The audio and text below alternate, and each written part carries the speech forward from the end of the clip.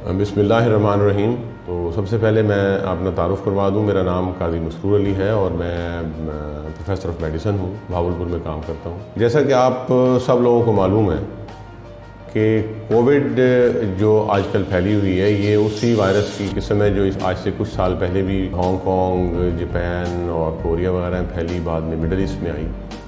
और ये virus, China से शुरू हुई और एकदम बहुत स्पीड से वहाँ पे ज़्यादा हुई।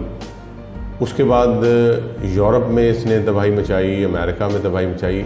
अब इस वक्त, ये एशिया के ममालिक ख़ास तौर पे हमारे इलाके में फैलना शुरू हुई है।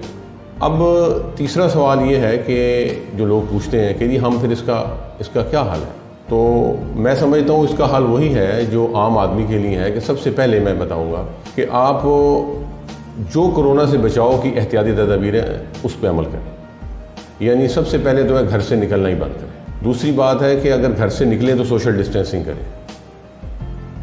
तीसरी बात है कि अगर खुदा न खास्ता आपको छींक आती है तो आप बजाय इसके कि उसको ऐसे ही छींके हाथ से, बल्कि कोनी से आप उसको कोशिश करें कि कवर करें। और अगर आप में अलामतें या अलामत जो है परसिस्टेंट हैं, लगातार रह रही हैं तो आप कोशिश करें कि आप फौरी तौर पर डॉक्टर साहब से रबता कायम करें। रबता कायम नहीं हो रहा तो आप कोशिश करें कि आप खुद आइसोलेशन में चले जाएँ चौदह दिन के लिए।